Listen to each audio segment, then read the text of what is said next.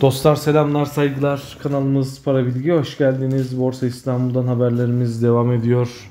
Posta İstanbul'u Rusya Ukrayna gerginliği vurdu.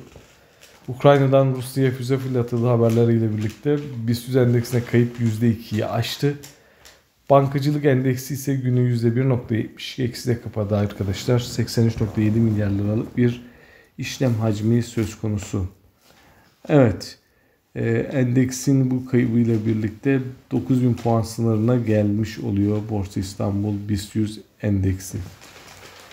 Saat 15.28'de arkadaşlar Tuğçelik Alüminyum ve Metal Mamulleri Sanayi Ticaret Anonim Şirketi kayıtlı sermaye tavan işlemlerine ilişkin bir bildirimde bulundu.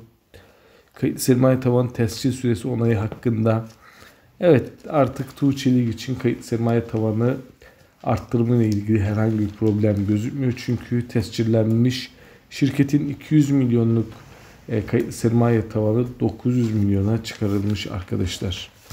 Bu da e, şirketin bundan sonra yapacak olduğu bedelli ya da bedelsiz e, sermaye arttırımlarında önünün açılmış olduğu gözüküyor.